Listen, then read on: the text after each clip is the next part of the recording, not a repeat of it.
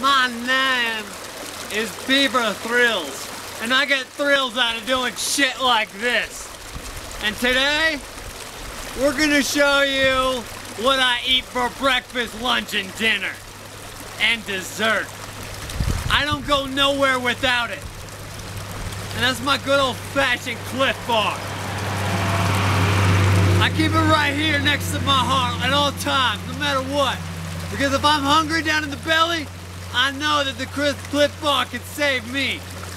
Now you may not believe this, but back in college, I used to have this for a Wurzel.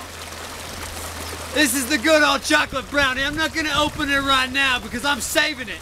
I'm saving it for when I really need it. And Clif Bar, if you're listening to me, I'm not talking to Cliff, the dad. I'm talking to the owner. I'd like to work with you. I want to bring Clif Bar global. I'm out here in Peru on my bike, and I want to show the world that Clif Bar needs to be in every tienda. So let's do it. And like my mama always says, be careful swimming in the deep end. You don't know what's down there.